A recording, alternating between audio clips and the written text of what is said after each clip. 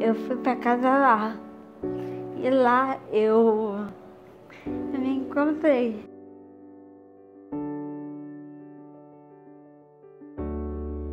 Eu completei o segundo grau, eu fiz o Enem, comecei a pintar profissionalmente, comecei a dançar também, profissionalmente também.